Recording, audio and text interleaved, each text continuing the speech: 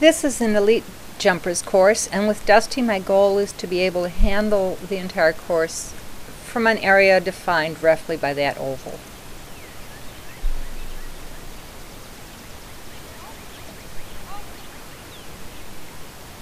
I'm late on that, and he jumps it very long.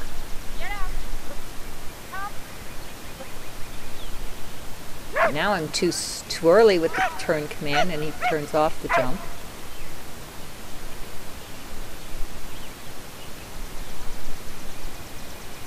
He knocked a bar, and since bar knocking was a really big problem in his earlier career, I stopped the action while I reset the bar.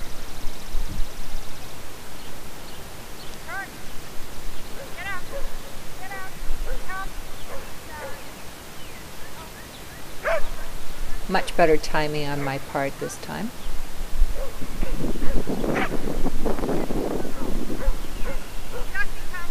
Now comes the section that was really, really bad. Notice I'm already facing out between 16 and 17 before he even gets close to 15. Dusty suffers pretty much a meltdown because he doesn't know what I want. And the whole time I was doing this, I just thought he was giving me a hard time and I couldn't figure out why.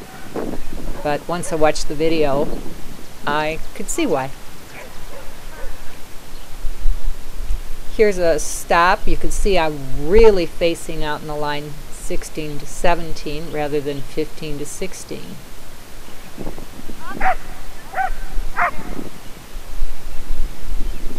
Try again. Ah, same problem. Turned practically facing jump 17 that time.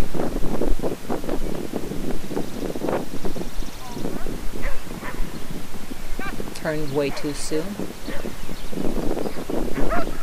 Way too soon again, but at least he took the jump, but then he wrapped it.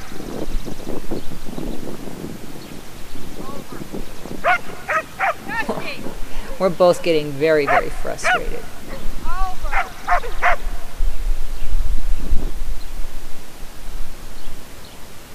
Here in slow motion.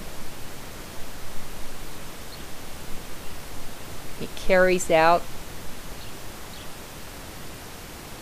Not really because my body language was that much improved, but he did it even though he didn't take the next jump, so I decided it was time to call it quits for the morning.